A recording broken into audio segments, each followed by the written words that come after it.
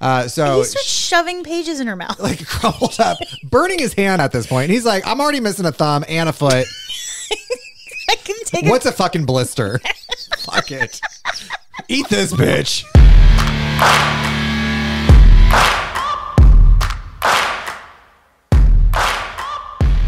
All right, guys, welcome back to another episode of Cracking Spines podcast. I'm here with Candice, getting ready, or Frank, as I like to call her, getting ready to discuss uh, Stephen King's Misery because last week uh, we have some atoning to do. Thank and you for coming back. Yeah, you know, you know, your your podcast is taking a turn when Stephen King is your palate cleanser. So here we are. Yeah, this one's better.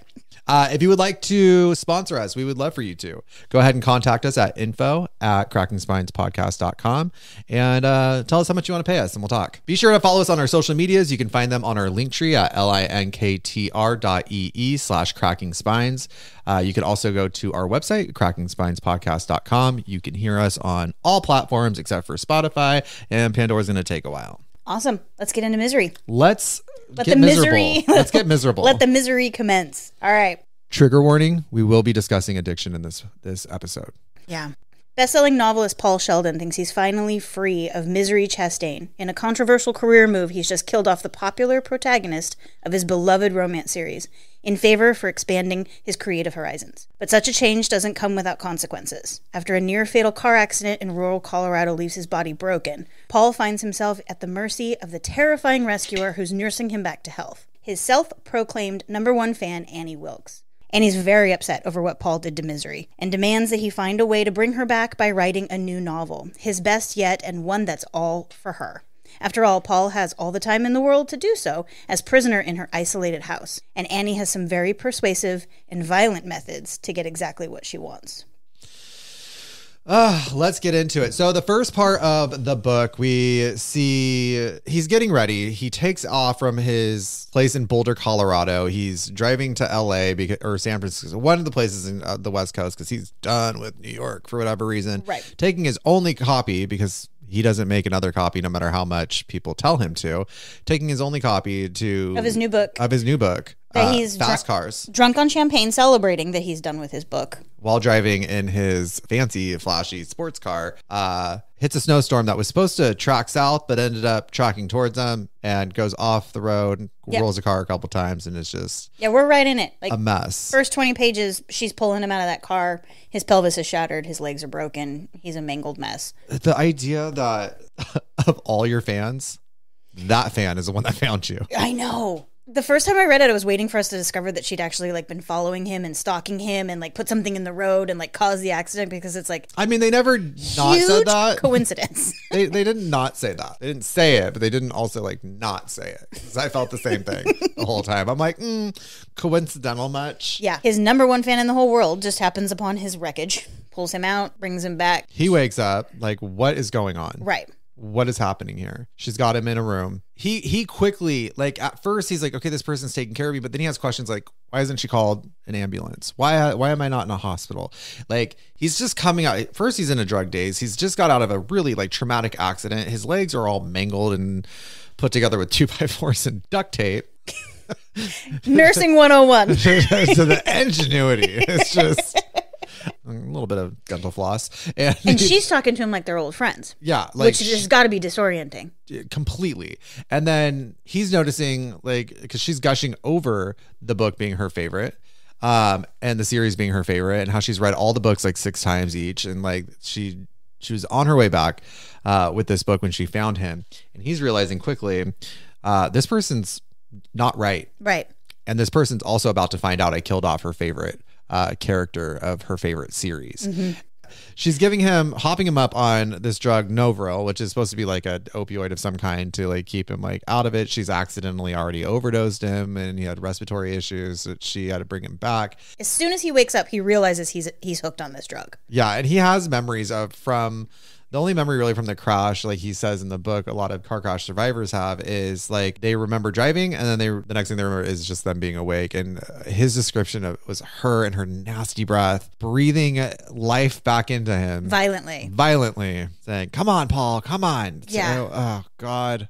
Like we both have this face right now. We're just like, uh, the dragon's breath from the dragon lady. Oh Yeah, god. forcing herself on him was the language that he uses. Yeah, that he like just ra- he was she was raping his mouth, his lungs yeah. with her Despite breath bringing him back, he just wanted her to go to away. go away, which sets the tone for this whole book. She is bringing him to life, and he knows in that moment he needs this to like. He knows what she's doing. He acknowledges that it's CPR, Yeah.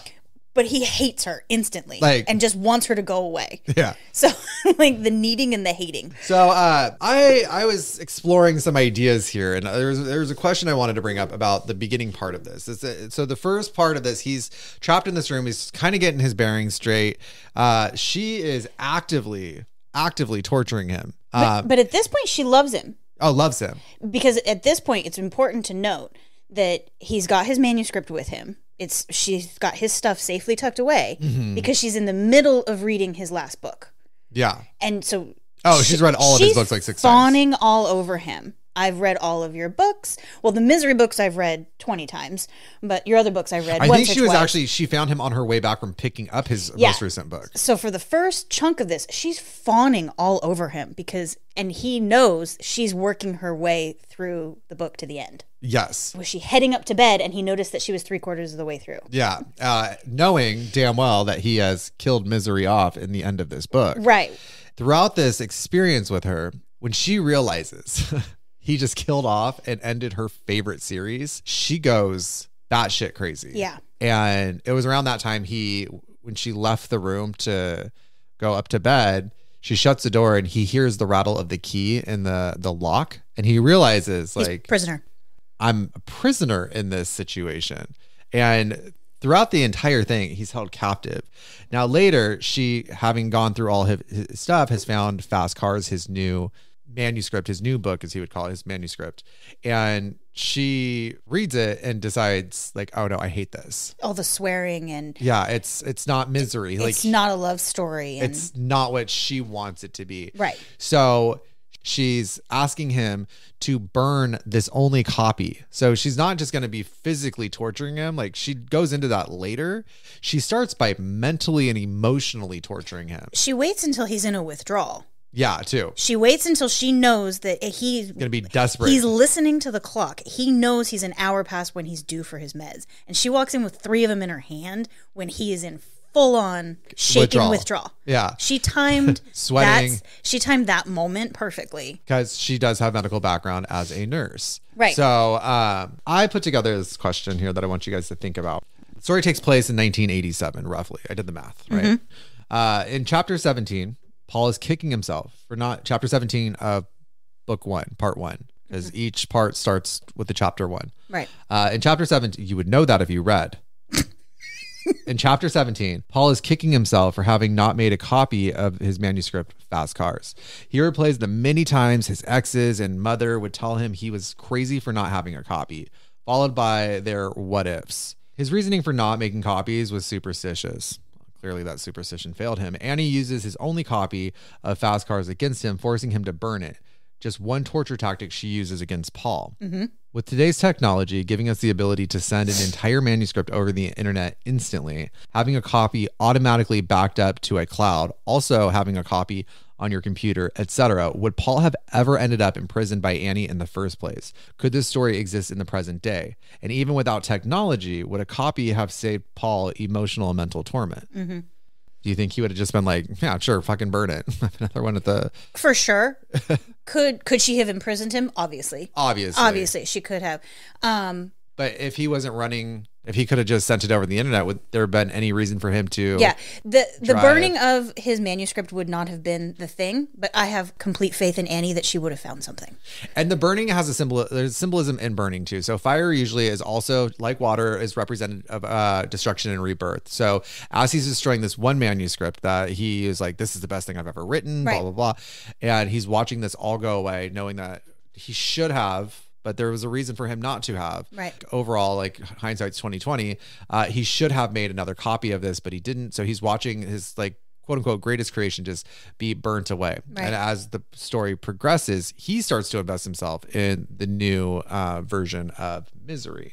Well, she makes him do one page at a time, the first 10 pages. Yeah. She's like, I'm not going to make you do the whole book, but this is symbolic, and I, I need you to feel what it feels like to burn each page individually. Once you get through the first 10, we can just throw the whole lot Yeah. in the pit. Like, she knew. By this point, she's already like she's made the impression. She's she's crazy. She's Right. fucking Looney Tune at this point. Right. And he is clearly understanding how vulnerable of a position he's in. He's understanding like the withdrawals he's going through. So he's getting he's getting mentally, emotionally, physically abused by this person that's claiming to be there to take care of him and uh, gaslight him and all this stuff. And in the moment of burning this manuscript and the pieces flying around, he sees panic in her face for the first time, and he starts to realize, oh, there's a moment here where he he, he sees where he has the upper hand, and it's fully foreshadowing. Yeah. It's full foreshadowing, and I, sure. I I'm surprised I didn't catch it because I was like, how does he in the end get to her? Like, and so like we'll get to that a little bit later. You would know if you read the book. We'll get to that a little bit later. But your point about the symbolism of burning and how she recognizes that and she acknowledges it brings me to one of my favorite things in this book, which is Stephen King writing a writer. And that comes up a lot. Mm-hmm. I he put a lot of himself in this book. And it's something to pay attention to. If you haven't read the book and you're planning on reading it, look out for all of these moments where he talks about how all the books he wrote before the Misery series have a soft spot in his heart. He hates how popular this one got. He hates that he's like chained to it. anybody's read the Gunslinger series in the beginning, the intro to it, he talks about a car accident he got into in the past, how that ended up leading to addiction. And so, like, he's already inserted that part into the story. For sure. And uh, did you catch all the Stephen King Easter eggs in this? There's a moment where he's going through her keepsakes, mm-hmm. and one of the news clippings references the Overlook Hotel, which is from The Shining. Yeah. So the line is the old hotel called the Overlook. It burned down 10 years ago. The caretaker had burned it down. Everyone in town knew he was crazy. Throughout this entire book, he's leaving Easter eggs. Like, this is my experience as a writer. It's, I, I It's an found it I think it's an allegory. it's beautiful. I, Stephen King's fun to read even when he's not writing about a writer, but him writing about a writer was just so Well, also, fun like- to crawl in that part of his brain. yeah, and when you're and when you're uncut jams, um, when you're uncut jams, when you're uh, You're when- glitching. I'm glitching. Where uh, you start to get into like the more violent moments. Yeah. It makes you wonder like what is this in reference to? Yeah. What who is he talking? Is he talking about withdrawal? Is he talking about his moments where he felt like he couldn't go he couldn't move on, go forward? Uh, not just in his career, but like uh, as a writer with writer's block and an addiction. And it's a really interesting like you get to like look into someone's mind. You're only like peeking through the blinds. You know what I mean? Mm-hmm. Yeah. So you can only see so much to the right and the left and what's directly in front of you. But like you know there's other shit in other rooms and Yeah. you want to know what's what's in there. Absolutely. I mean, the last line of of the entire book is Lovell, Maine, September 1984, Bangor, Maine, 1986. My tale is told. I mean, he flat out told you Yeah. there's a lot of me in this book. yeah. Yeah. So in part one, uh, he has a moment where, through all his studies as an author, he does his research to make sure there's as much realism as as possible. And one of the things he, he learns is how to pick locks, and he learned it from a detective that like came around with uh, boosting cars when he was learning to write for the character in Fast Cars. He uses that knowledge to pick a lock to go venture outside of his space, right? His first venture out, she has finished Misery and she just disappears for Yeah. two days. Yeah. Oh, she. She's, we later find out she's getting a typewriter to ask him to do this, but she just disappears and he's like, okay, this is my moment. Let me see if I can get out of here. And he picks the lock and he ventures out of the room. yeah, that's that's a turning point. Yeah. So this is this is the this is the part of the story, the hero's journey, where he's crossing the threshold. He's going out into another part of this world where he is. I think this is actually a really good opportunity to talk about the hero's journey. Yeah. So uh, the hero's journey, you have a status quo. That's him in his uh, his apartment, writing the story, smoking cigarettes, getting his champagne, taking off, driving, and the accident is basically what is called the immaculate conception.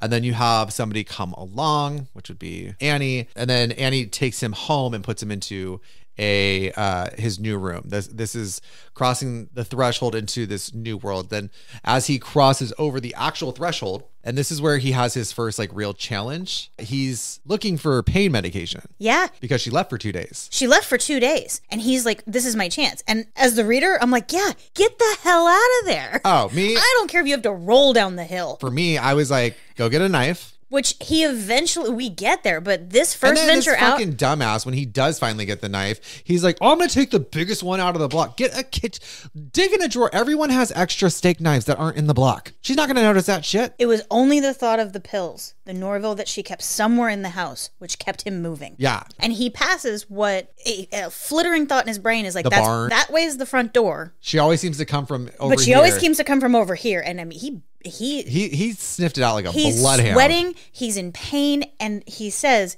just think of the pills, just think of the pills, just think of the pills. Like he, he's just repeating that in his head. I have a actual personal history with this. So I was diagnosed with fibromyalgia when I was about 25, and I dealt with it for about seven years. And uh, all the medications they tried me on I was allergic to, so they just kept me comfortable with painkillers and muscle relaxers. And I understand the thought process of I'm in extreme pain. I don't have any pills near me.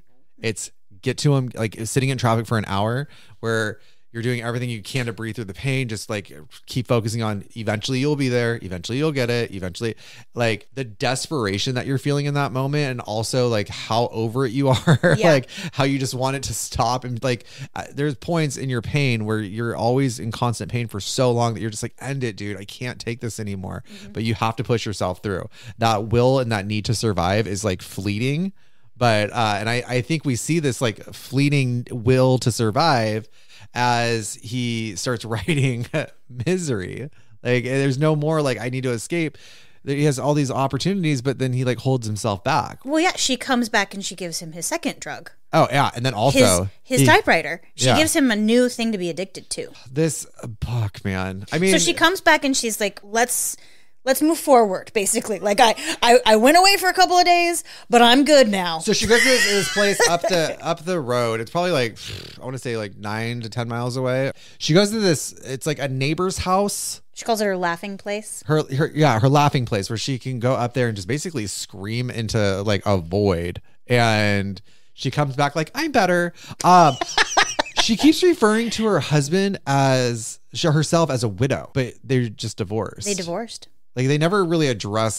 that part Yeah, he's dead to her, yeah dead to her but like but she didn't keep the name. she didn't keep the name she changed her name back And that's so Annie. She hasn't like she's not delusional. uh well Well, I mean, like a little bit But that it, she's not delusional. She knows that he's not dead. Yeah. These moments of like calculation. yes okay so she's really upset with the language that's used in fast cars right His manuscript that we burned. his manuscript. Um, and this is before the burning. Annie is upset that Tony Bonasaro, the main character of Fast Cars, right. uh, ha- is using profanity. She says it has no mobility. Paul responds to her, "Yes, I understand what you mean, Annie. It's true that Tony Bonasaro has no nobility. Uh, he's a slum kid trying to get out of a bad environment. You see, and those words, everybody uses those words in, and then she screams, "They do not." She goes on to be like, "What am I like? Do I use those words?" And then I, I go down to the the street to the bank and say to him, "Here's one big bastard of a check, and you better give me fifty effing dollars just as effing quick as you can."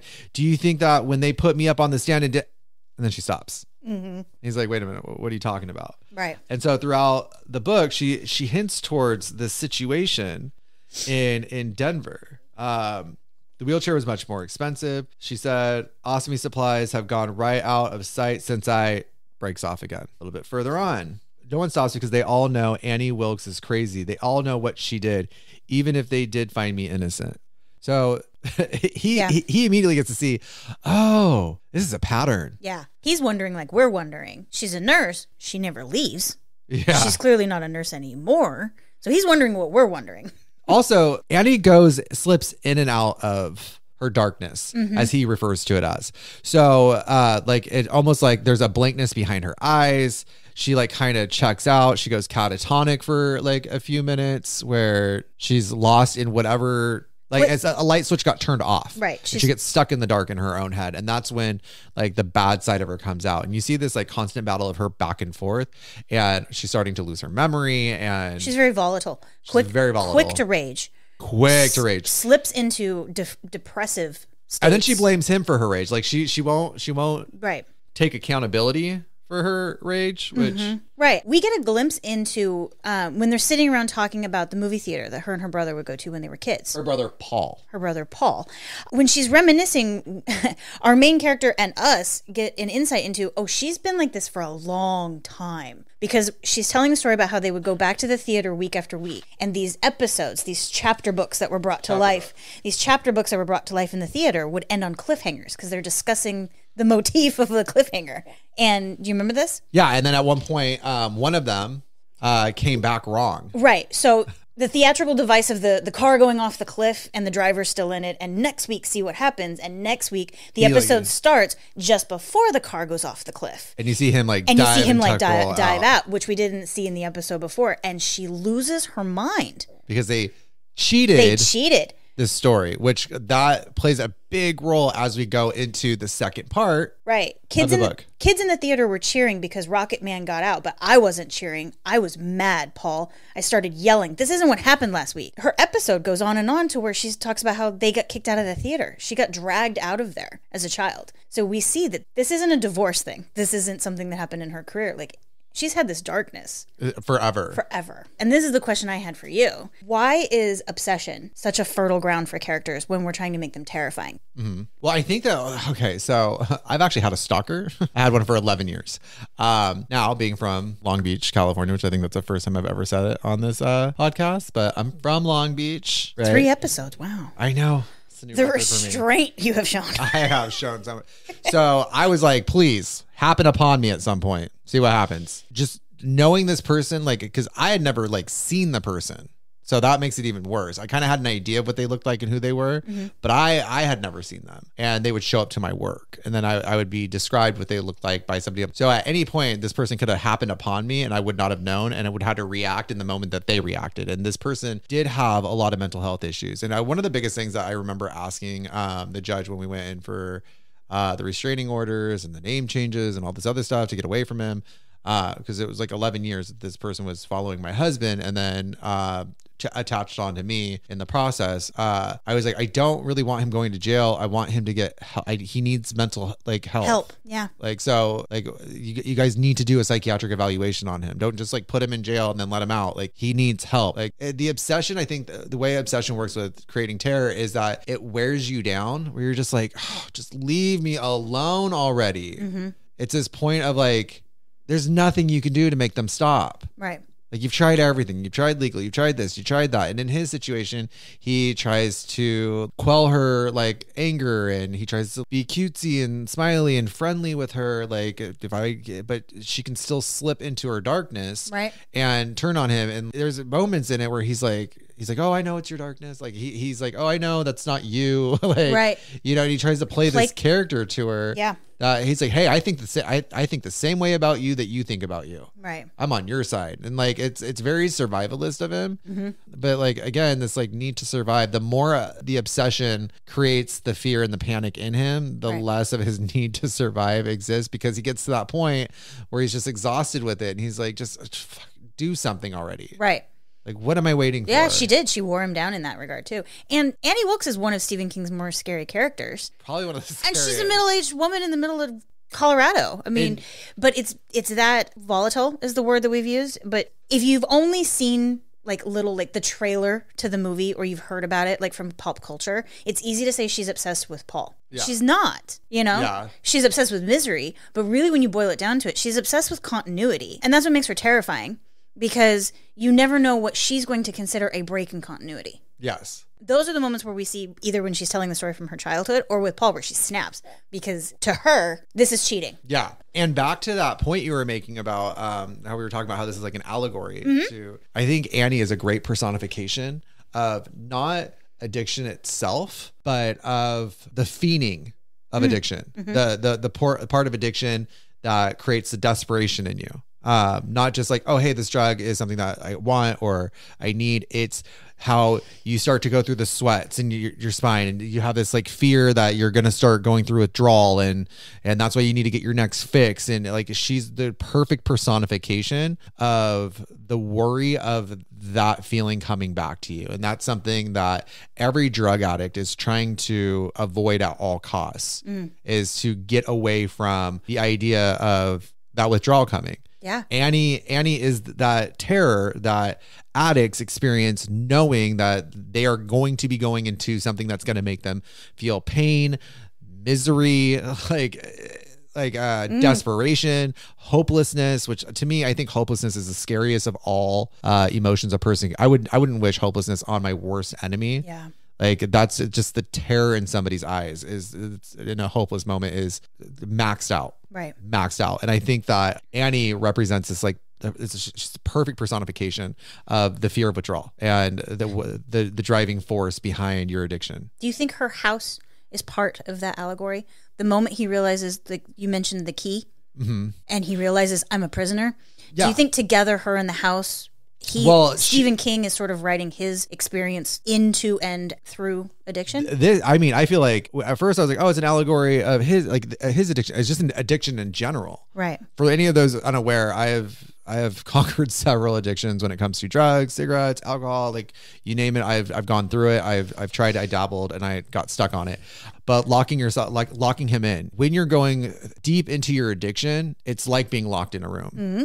that you can't get out of. And the few attempts that he's made, he makes to get out of the room, he is fearful and he wants to get he's fearful of that withdrawal person that that personification of withdrawal coming back Yeah. so he wants to go back into the room where at least he knows in there um, he can still be under his influence he can still have all his pills he still like has he knows she's gonna come and give him another dose and Semblance like, of control. yeah it, it's not so much control it's more of like your safe space Oh, okay. Yeah. um, it becomes like a safe space. Like you're enclosed in the in where the addiction wants you to be. That's the safest place for you to be as far as you're concerned. yeah. And so I think the house and the house represents that that space that addiction wants you to be in, specifically that room. Because eventually, even when he starts to venture out from the room, he realizes he's locked in the house. Right. He can't get out of the house even. The windows are sealed. I mean, he's, And that personification of withdrawal is always a threat at all times, every time. he even considers lighting the house on fire. Yeah. Knowing that he'll go with it because Yeah, there's just- no way out,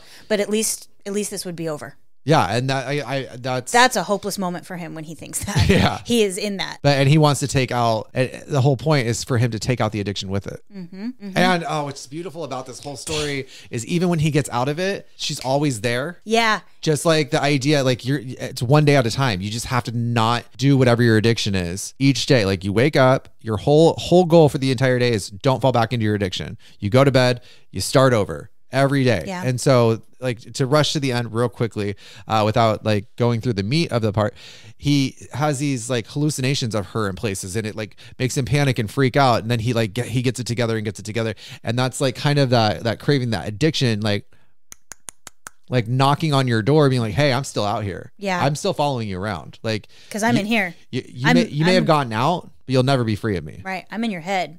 Yeah, and so oh, like I just gotta chill because Dude, like, Stephen King left it all on the page, man. Oh, like he. So what I love about this, and this is why, like, I highly encourage people talking to others about reading the same book, is because I'm reading this and I'm not really looking into it that deep, like in that sense. I'm looking more at like the the story structure and what's happening in the story. But then you have, you know, uh, Frank here come along and tell me, like, oh yeah, what about addiction? And I was like, I, I, she had mentioned like she was gonna discuss that a little bit and i kept clear i think i intentionally kept it clear of my head to not like Read for into- it. read for it Mm-hmm. and then like when the more you, we pull this apart the more you start to realize this is an allegory for addiction Mm-hmm. not like just something in his past or whatever because he has personal experience from it so that's the best way to write is from having experienced it but like which is why it makes sense to me that when Stephen King sat down to finally write this, when he was clean, he wrote Paul. yeah so we're going into uh section two where he starts writing the book that she wants him to write Right. and this this is him this is his survival now now that we've explored this concept of addiction i want to know where this novel comes in him writing it his need to write it is is he satisfying he's satisfying the beast and by satisfying the beast he's satisfying himself Right. so um he has this really beautiful moment where he's trying to figure something out. He's trying to figure something out in the story. He's not just going through the motions like he was when he was writing chapter 1. By the time he's in chapter 12, he's stuck and he can't figure out how how did this character get there? And I mean, he wakes up from a dead sleep yeah and is like, "It's come to me." yes She's giving him Novril, which was the the drug that kept him there when we're talking about his relationship to Yeah. escape. And now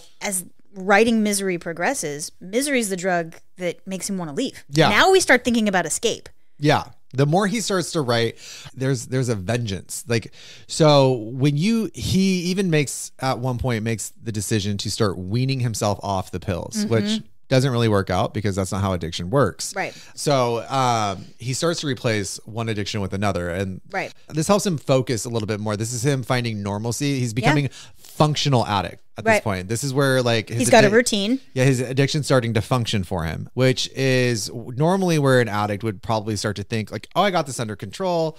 It's not that bad." And you start to see this in him where he's like he has moments where it's almost like he forgets that he's captive. He mm-hmm. almost forgets that he has this gremlin of a beast. That he's a prisoner. So he starts writing this book. So he's he's he's in it to win it. The the N doesn't work. So oh, on the typewriter. Yeah. on the typewriter. This typewriter. yeah. Like when he says this thing grinned at him with a toothless smile, just fucking pissed him off. I think it hurt him because it was like, oh yeah, Yeah. there goes your E, bitch. it was like all the R, like the only thing he had left of like the most common letters was the R, the S, and the L. Well, but they'd fallen into a rhythm, right? Yeah. He would write. She, She would, would take the pages. She'd fill in all the the ends that were missing. He had a meal schedule. I mean, like weeks go by. Yeah. Uh, like a significant, like a season This, passes. this this takes place over almost a year. Yeah. A little I think it was over a year. yeah, months go by of their just in this rhythm, and then she slips into this depressive state, and he starts noticing that she's just walking around the house in her slippers, puttering around. He makes a note that he'd done research into depressive episodes, mm-hmm. manic depressive episodes. Yeah. and he recognizes that she's slipping into one, and he's even like, "Are you okay?" Yeah, he Annie, you all right? And that's when she disappears for a long time. and it's he almost like he starts to sympathize with her. Mm-hmm. I don't know if it's sympathy. Maybe it is, but he's starting to understand her. He's, He's starting to understand. he's her. starting to somewhat predict her. he he's starting to figure out his addiction. So this is the point, and I, I think in a person's uh, addiction where they realize they have the problem. Mm-hmm. You know what I mean? So first, the problem started. It was just lost in don't end up in withdrawal. Then he got into his routine with it to where he's like, oh, I'm functioning, and then he starts to move into that segment of your addiction where you're like, oh, I have a problem, and I think that's where we're at with him trying to learn her Mm-hmm. where he starts to figure out with her because it's a defense mechanism that he's using. He's he's learning. Okay, where are my red flags and my green flags? Where am I safe with her, and when am I not safe with her? So he's like constantly aware of when that withdrawal could possibly attack. Mm-hmm. And so he he stays in eh, he tries to stay in this fixed position, and he slowly starts to realize how he can catch her off guard. He uh, they he, they mentioned the the Shahrazad right? Mm-hmm. Um, From was it Tales of Thousand One Nights? Uh, so the just a background on that, and the reason why it keeps getting brought up is the Sultan takes wives, and usually uh, at the end of the night he has killed his wife, Right. And so he takes on this new wife, and so what she does, which is a running theme with the chapter stories and things like that, is she tells him stories. She tells the Sultan stories, but she like hangs it on a cliffhanger so that way he has to know what happens the next day. So she continues to keep telling him these stories until it like to keep herself alive. He considers himself as the Shahrazad to Annie. He keeps that withdrawal at bay. He Right. keeps getting his fix uh, just enough. He keeps satisfying the withdrawal enough to keep her at bay. But like with most addiction, with all addiction, there are going to be moments where you cannot satisfy that withdrawal, and that withdrawal is going to come at you, and you're going to experience suffering. Which brings us to him finding her book and realizing how terrifying she really is. Yeah, and that I think I when he finds her book, like She disappears for a couple of days to her, her laughing place. her laughing place. During this depressive episode, he ventures out into different places of the house this time yes, and stumbles upon her memory book, which Yes. is a collection of all of her kills. Going back to 11 years old, I think, is the. Uh, yeah. So she has mentioned to him like these brats that she used to hate, like babysitting. First story he finds is them the- all dying in a house fire. uh, kills her father uh, by having him trip over clothes downstairs. Her college roommate, same thing. Different places, different times, different newspapers. But they they evolve from personal to kills that she's doing at work. Oh, yeah, as yeah. she gets her license, they and start off she, personal. She has this need to kill almost like it. Like she's uh, it's it's not like an angel of mercy type of situation. Um, she's just picking victims that it's easy for her to get away with. Long sickness. long sickness, short sickness, long, long, long, short, long, long. Like she has like a pattern to try to like throw it off, and it, it, it, it's not suspected when you're working end of life care, eh, which is what she's doing. Eh, But then She's in the maternity ward. mater- maternity ward, She's the the head nurse of maternity. and so babies start dying. Yeah. And, And, that gets attention that- fast. yeah, and that's when she ends up on um, the stand. Looking back on this past is like looking at what addiction does to other people. Mm-hmm. So addiction causes this death and this death and this death and this death and these these these these these these. It can cause death in the elderly. It can cause death in the young. It can cause death at the hands of their own. It can cause People death at the hands love. of others. Yes. So like it, it affects all all aspects of life, and I think that Stephen King gives like a great visualization of that by starting like from a young stages of your addiction. It's dangerous and it increasingly gets more and more dangerous as the addiction continues. And this addiction can affect everybody from the young to the old. It doesn't matter. Some people can make it through their entire life and it can still get them at the end. Uh, some people can it can get them as early as the beginning. Right. And I think that's like I think that was like a great way to paint out this picture of this death book that she did leave out for him to find. Yeah. Oh, for sure. Which that is the part that it's very, like, very soon after we find out that she's known he's been getting out this oh yeah, she's because it works to her advantage that that brings us into part three of the book. beautifully. So moving into part three of the book, he is starting to think to himself like, okay, I need to figure out how to get out of this situation. He's starting he's starting to come to terms with the fact that I have a problem. Like Right. he's coming to terms with this addiction, right? Since we're gonna we're gonna run with his motif. He he starts to fight back against this demon, uh, Annie. He starts to fight back against Annie. He's, he's he starts to have more attitude with her. He's like, this is not how it's gonna work. She's starting to become more impatient with him. Um, eventually, it gets to the point where she's just like absolutely the fuck not dude. One of his one of her his times out right? Yeah. and she is in a full episode. Oh yeah. full episode. He describes her episode on one of his ventures out. He sees there's like you know a plate with a single pancake on it. He sees uh, like the effects of her episodes because she's always on a routine. She's always cleaning. Here's the vacuum. They watch nightly shows at night when she wheels the tv in. Like Right. they're starting to build this relationship that occurs out of like routine. So he's he sees like in one of her times where she goes to her laughing place he's already he's already checked out. He's like snuck around the house looked at everything realized she had all of the best locks that can't be picked everywhere. Um It's when he finds the book. Yeah it's when he finds the book and she she comes home and she just drugs him into like a comatose and the way she finds out is because she lays strands of her own hair across everything to find them broken 'Cause she's known about it from the very first time that he he leaves the room she knew that he left the room she knew he was hiding pills she saw those scuffs on the wall. She saw the scuffs. Like she's super particular. She's super sharp, super aware. This is where I think that the turning point. oh yeah. This is a real big turning point because this is when the hobbling happens. Yes. She and it is not the way it is in the movie. like she doesn't just like knock his foot against the board and break his ankle. She chops his fucking foot off. yep. Brings in an axe, not a sledgehammer. She brings in an he's axe. he's hypodermic needle fully out like he knows this is the moment that annie's gonna do what annie's gonna do this is when trying to appease the the demon the monster that is his addiction it- Oh, is yeah. gonna result in withdrawal regardless And beautifully, Stephen King has Paul offer up his other drug. I'll do anything. Don't do this because he thinks she's going to kill him. Yeah. And he's like, I'll do anything you want with misery.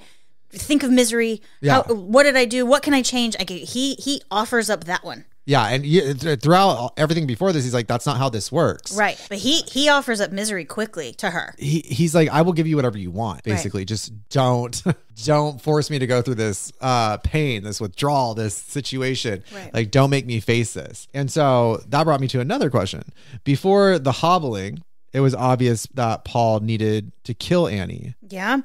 these uh, this uh, plays into the idea of him leaving the room so many times finally she's like hey you're not going anywhere anymore Yeah. and this is why she hobbles him is to to punish him to scare him even more. At one point, she takes off his thumb, like she burns the flesh with a blowtorch, Mm-hmm. The blowtorch to to, like, cauterize it. cauterize the wound. Yeah. So before the hobbling, it was obvious that Paul wanted to kill Annie if he wanted to survive being held captive. After missing several opportunities, Annie reveals she has been aware that Paul has been leaving his locked room. She relieves him of the knife he had stowed away under the mattress on a night she dosed him to keep him asleep. This is also when she fixes the lock on the door, which is why he could not understand why she didn't figure the lock out. Right. So she's hiding the fact that she knows he's been getting out. Uh, from the moment he loses a knife, as the reader, I started getting creative for him and have thought of ways to finally put an end to his misery. See what I did there? See what you did See what I there. did there? How would you, or in what ways did you think Paul could have killed Annie post hobbling? I had some real creative ones. Yeah. The the writer piece of me always wanted him to kill her somehow with the typewriter.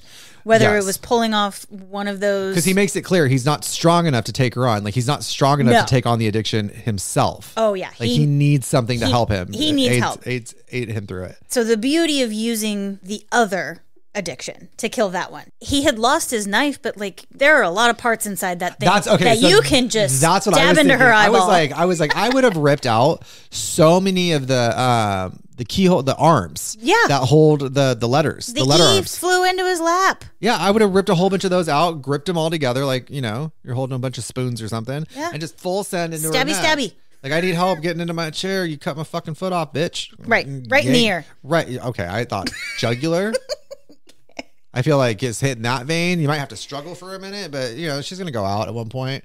like, bro, do or die. Drop sack. Stab her in the neck. like, fucking front hoof her in the front butt. Like, just go for it. Act like you want to leave. yeah. I don't know how he's gonna hoof her with a broken foot, but like, um, and then it's also in this like portion where like, uh, while she's gone, uh, he he gets to see how resourceful she is because he can watch her out the window and he's watching the seasons change, showing that like addiction is is not just like an overnight thing or something you deal with.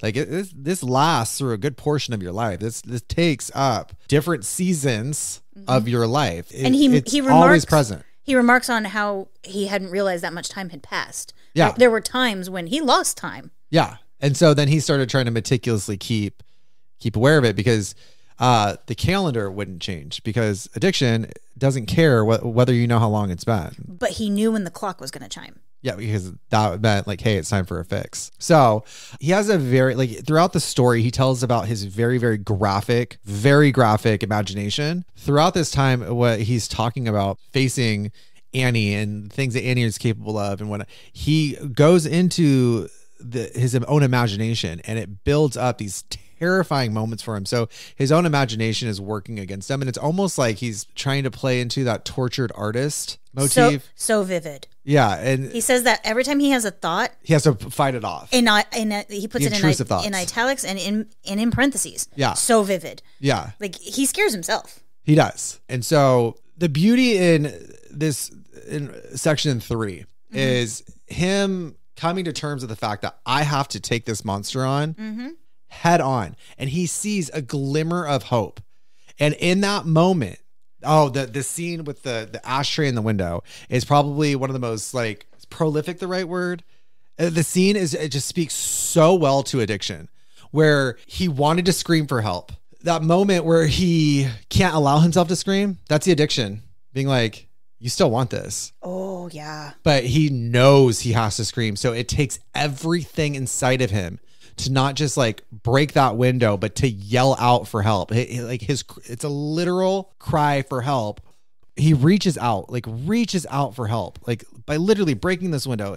He's having trouble finding his voice to scream, to yell for this 23 year old officer that she just goes holy hell on this See what, you, cross. see what you did there. Yeah, like fucking just stabs him in the back, right in the back with the cross. like and then in the chest and then runs over his face with a lawnmower and like she starts running through how she's gonna get away with it with him yeah. fucking crazy like how she does this like she she's like okay so they're gonna come here and ask um about it like because she's had a run in with the law before she knows exactly like how and this speaks beautifully to addiction because he usually your first attempt at getting help and getting out will fail you in some way. Mm-hmm. And this is your addiction's way of being like you're not getting away from me. And this is like our conversation earlier about she calls herself a widower, but has no behavior that tells you that she's delusional and thinks that her husband died.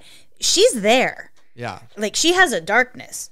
Oh for sure. and she's aware of it. And she's aware of it but it's the calculation combined with her obsession that makes her one of the most terrifying characters he's written. that part. Pennywise could never. It's so calculating and cold.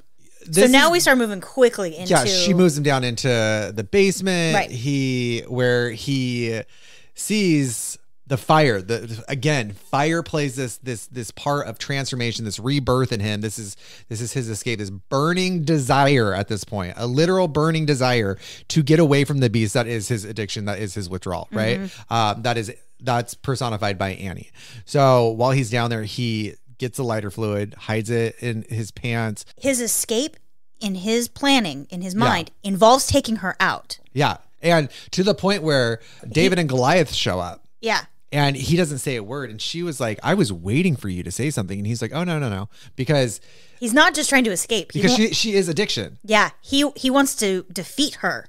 this is like stephen stephen king is making it very clear. Yeah someone can take away all your drugs. That doesn't take away your addiction. You have to you have to uh conquer your own addiction. You can have all the help in the world but until you conquer it it's going to hang on to you. It's going to always be there. Escaping, getting out alive is secondary Yeah. to taking her out. Because if he escapes her she can always come find him again Mm-hmm. he can end up in this situation again unless he he's able to take her down.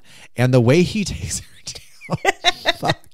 I was like, this man knows how to write violence, violent scenes. Like it kept going and going and going Yeah. and going. She would not go quiet into that dark night. Every time he thought They always come back. that was beautiful. Every time in in this in this whole story of addiction, down to the bitter end, he was like, "Stay down." he fucking lit. He lit this story on fire. Well, not even the story because he hid it under the bed. Mm-hmm. He, he takes a good portion of the story that he lit on fire on the bed. She goes to put it out because she needs to save misery, her own obsession, his misery. Uh, so he starts shoving pages in her mouth. like crumpled up, burning his hand at this point. He's like, I'm already missing a thumb and a foot. I can take a What's a fucking blister? Fuck it. Eat this bitch.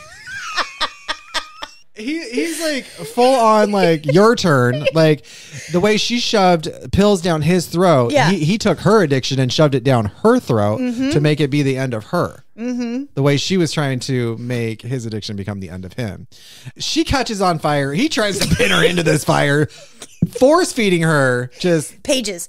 just force feeding her all the misery she can fucking take He's like, choke on it, choke on it. yeah, you suck it, bitch. And then like works is somehow like she gets up and he's like, Jesus Christ, she won't go down. Yeah. And then she like gets up, fucking face plants into the side of a uh into the side of the mantle, which the mantle has played such a big part in uh the story, you know, because that's where the typewriter is held. That's where like is really the last thing that he sees in the room, looks at, so on and so forth. Um she face plants into it. I Yeah. really would love to have seen her face. I want to see Yeah. the dent in her soul. her clothes have burned off of her. She's still not down. She's still she's you know choking and rasping for like air after having burning pieces of paper shoved down her fucking throat. Right. He gets out and he runs to his safe place where all the pills are. Mm-hmm. And he locks him, he locks her in the room, and her fingers are under the door. And Yeah. he- and he's like, "What the fuck?" And he like, and then so he shoves her fingers back under. I would have left him there so I could at least keep an eye on her. Yeah. And he like he just like get away from me completely. Like just her fingers creeped him the fuck out. Locks himself in the bathroom without the toilet and like Yeah. waits it out. So then he knows I have to leave at some I have to get out of here. Right. I have to get out of here. And so he crawls out expecting to see her hiding behind the couch, expecting to see his addiction come out of this corner, out of that shadow, Oh, out yeah. of this shadow. The suspense like, is this like- is this is that initial time when you are like, I am done. Now you're now you're like, he just faced his withdrawals. Mm-hmm. That that's the significance of that fight in the end is he faced his withdrawals that he had been avoiding that whole time or trying to avoid that whole time in the in the discussion of addiction. Good call on catching that, by the way, for this book. So I was even looking at it like that. Anyway, so he faces the withdrawal finally when he has this like epic battle with her, right? This is like where he just escapes death. Um, that's part of the hero's journey. He has to go see, is she there? Mm-hmm. and then the terrifying realization she is not there anymore. It's Right. not, he doesn't even see it. David and Goliath come back. He sees them outside. He breaks a window and starts screaming for help. Right.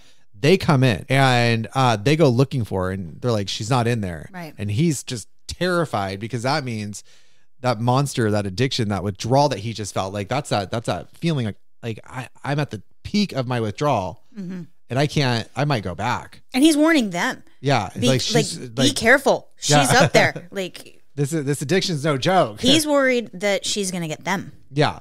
Turns out she died concussed in her barn. Right. Um, Died from her wounds. Died from her wounds. Finally, he gets away, and we we go into part four of this book, Mm-hmm. right? So we did spend a lot of time on part two of this book because that's where all the meat is. Right. Literally, that's where majority of the story happens. And you have the turning point, um, that is part three, where you know he goes through different trials and tribulations, and eventually. The hobbling, um, him sneaking out, him finding things. These are different trials and tribulations he has to go through. And usually in the hero's journey, it ends with the ultimate where they either die and come back to life or they just cheat death, which is his fight with Annie in the very end when he kills her. And then once he's saved and rescued by these helpers he's taken away that's crossing the threshold back over and there is all these moments where he thinks that she's there but he has to keep in his mind she's dead because he was made aware that she was dead he takes his uh, book with him and uh, he this this book that she forced him to write becomes one of his best Oh best yeah. books he ever wrote Oh. and Because the story came out about what happened to him. yeah So everybody wants to read the book that he Yeah. wrote in captivity. i mean i would And his agent's like, write the nonfiction version of it, right? your story. and he's, like, I don't know how to do that. Like, I can't. But so then he returns to the new status quo. You know, like he has moments of PTSD flashbacks. He Oh, for has, sure. and like he's scared that she's always there. He's always nervous. Always. He has to remind himself that his housekeeper is the one that moved something. yeah, yeah. He, he like makes a, First of all, bro, makes a note. you're not ready. Fire her. you should be working on a routine if you're battling addiction. Okay, like. But we- it's one day at a time. I mean, you you mentioned this in the beginning. He's just getting through the hours, Yeah, just yeah, and so it's and that's where we leave him. having read it, not even like on that level, like I was looking at just, I was so caught up in just how the danger of Annie progress, like the the fear of withdrawal progresses, and the longer you stay in your addiction, the worse that withdrawal is going to become. The longer he stays with Annie, the worse her violence and her danger becomes. Uh, you have moments where you think you can escape, and you and it's just your addiction reminding you you can't escape. You can might be able to move about, but now you're not in your comfort zone. You want you you want to be back in your comfort zone right now, and that comfort zone is where you experience your high the most. Right. So uh, this this theme this this allegory of addiction is what I'm going to call this at this point. Um, not even just like his own, but you can speak from experience, and obviously Stephen is speaking from experience because of how he ended up in the position of addiction in the first place. Yeah, the specifics of it are very much part of his own story. I, I think that the number one thing I would want readers to take from this, having been an addict going through exactly what it is to experience withdrawal and experience the fear of not being able to get out and all that, how terrifying this was for the addict, Paul. Mhm. That is how terrifying the concept of leaving your addiction is. And this is something that people that don't experience addiction don't understand. They don't understand how much it's going to take from a person. It is life or death. Mm-hmm. It is a fight where if you do what it wants, there's a chance that it'll keep you alive. If you don't do what it wants, there's a chance that it'll kill you. But ultimately, you have to take that risk and get away from it mm-hmm. because And it's consuming. it's con- all consuming. It all consumes, every every inch of you, every aspect of you, every part of you. which is taking the foot, taking the thumb. you know, Yes, little by little by little. She's and the violence in him finally combating his addiction and seeking that sobriety, seeking that freedom. Mm-hmm. And he finally goes for his freedom. It's very calculated and it has to be very calculated. You can't force somebody into sobriety. They have to take it upon themselves and figure out their way out. Mm-hmm. You can guide them, you can help them, you can show them that there's help on the other side. There's going to be a failure. They got to keep trying. And this book spoke so well to all of that. Mm-hmm. So well to all of that. safe to say we liked this one. I absolutely loved it. This is a giggles for me. Without further ado, should we do bookends? I think we should do bookends. All right, so this is our segment where we ask all the questions we think y'all should be asking yourself. That that part. All right, first All right. one. Who are we buying this book for? Okay, so I don't know if I would suggest this to somebody that is currently battling addiction. I do think I would suggest this to someone that is just in the clear enough to remind them of how bad addiction really is to them Mm-hmm. so that they don't run back to it. Okay. Um, or to the parents that just cannot understand what Or their child or any any loved one that just cannot understand what their their loved one is going through when battling addiction. This Mm-hmm. will give you a whole nother another outlook on that. Your turn. Okay. I would recommend it to that whole group of people out there who say, I don't really read Stephen King because I don't like horror. Oh yeah, yeah, because it's not really horror; it's Yeah. I mean, suspense, Yeah. more than anything. it's not a romantic comedy, but Well, it depends on who you ask. I don't know about you. all right. So if you if you're looking for an obsessive love story, there you go. uh, but no, there's a whole group of people out there who don't read Stephen King because Yeah. they think it's all Pet Sematary. Yeah. You know, it, it's all Pennywise. Yeah. And this is beautiful storytelling. Even even if you don't catch the addiction piece, Which, or, by or the if way- the addiction piece doesn't speak to you, this is still a brilliant writer writing about a writer, and that comes And it's across. an easy read. It's an easy read. f- I mean, it's you fly through it. All right. What questions do we think our listeners should take to their book club when they all read Stephen King's Misery? Ooh, I got a good one since I've been talking to you guys about um, symbolism, especially the symbolism of water. Now we've learned fire today, but let's go back to water really quickly. Paul, in the beginning of the book, describes his own physical pain as the tide rising and falling over pilings in the water, an image locked into a childhood memory spent at the beach with his parents. He uses a similar description when discussing Misery's Geoffrey's emotional pain replacing pilings with rocks. What function does this symbolism play in King's Misery? Can a connection be made between Paul's pain, the telling of Misery's return, and Paul's experience under Annie's care? Nice. So, I mean, we kind of answered that with her addiction question or whatever, but fine. Well, my question we've really addressed as well, but how does his relationship to escape evolve and de-evolve? Yeah, because he does like I, I think it's uh that that area of I'm functional. Mm-hmm. I think that's I think that's the the devolve. Right. And uh Just- eventually he gets to a point where he realizes he can't function. Right. He can't function in that space. Right. Just even if you're just looking at the when does when does escape even occur to him? When is Yes. it on his radar and when is it like not even in his mind? He even says in the book, like, you have to get out of here. Yeah. He reminds himself, like, don't forget what we're what we're trying to do. Yeah. Like, that's you know, that's sober him, like reasoning with addict him. Like, Right. we got to get out, dude. yeah, Like, the, the arch of his relationship very much that. to escape. What about what's your what's the what's the next question? All right, this is already a movie, a beloved movie, and Yes. it's hard to top Kathy Bates. But who would you cast if they decided foolishly to remake the movie? I don't think it'd be foolish once you hear my answer. Oh, okay. So now uh, I'm intrigued. Who who would you put as Paul? I had Jude Law in mind. The that would be so. You guys can't see it right now, but my chin is in my lap. but that like you know how he's like humoring her with that like false like oh yeah Annie and then she leaves and he's like "Ugh, This would be the second movie both these uh, actors have been in together. no who do you have? Melissa McCarthy. Melissa McCarthy could play that danger and that that like she yeah she's a comedic actor but she could commit to that role of that terrifying person so well You guys can't see it right now, but my chin is in my lap.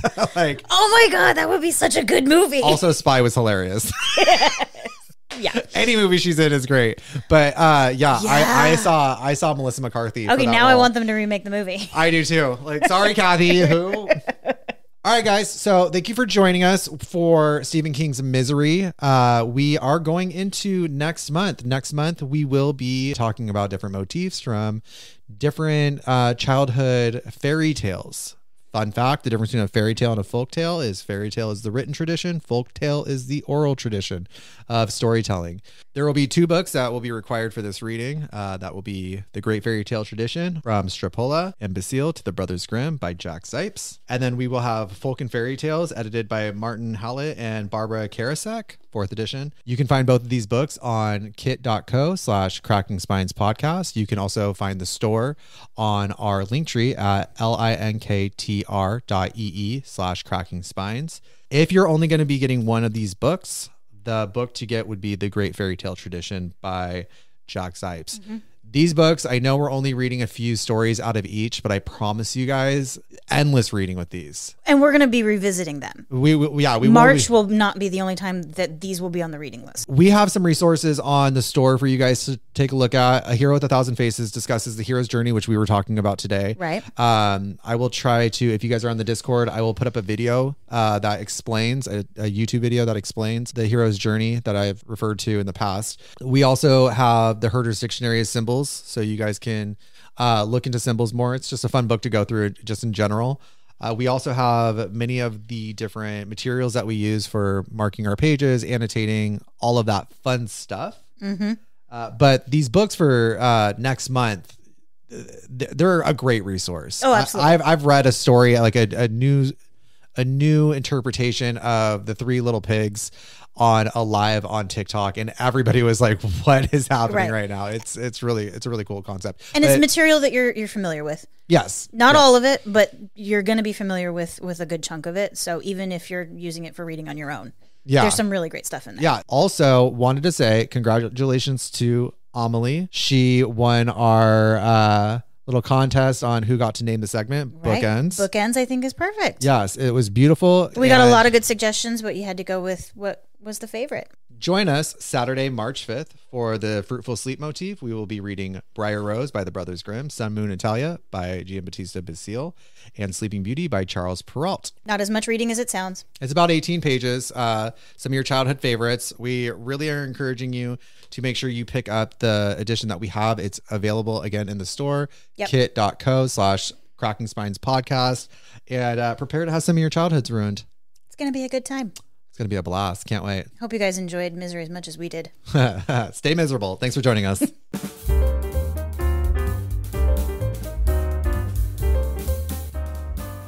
Okay. I feel like I'm like snapping my leg. Your garter. No, garter. What is this? Fucking 1762?